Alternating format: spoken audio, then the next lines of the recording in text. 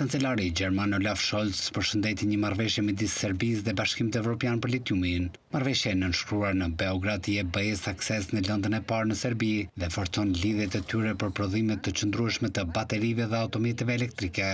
Është e rëndësishme që një vendim i tillë u mor sot, tha Scholz, duke treguar mundësinë që ai sjell për prodhimin e makinave elektrike dhe qëllimet klimatike. Marrëveshja e furnizimit me litium midis Bashkimit Evropian dhe Serbisë gjithashtu rrit pavarësinë e Evropës, tha Scholz në Beograd. Lëvizja rrit elasticitetin dhe promovon industrinë, shtoi ai. Sipas kancelarit gjerman, litiumi do të jetë po aq i rëndësishëm për qarkullimin në të ardhmen ashtu sikurse ka qenë nafta deri më tani. Ai thotë se projekti është pozitiv për shumë arsye, përfshirë rritjen e perspektivës së Serbisë dhe krijimin e vendeve të reja të punës. Gjiganti botëror Rio Tinto pritet të hapë minierat në rajonin perëndimor të Jadarit në Serbi dhe këtë javë licenca e saj për të zhvilluar atë që do të jetë miniera më e madhe e litiumit në Evropë u rivendos përsëri më shumë se dy vjet pasi u anullua.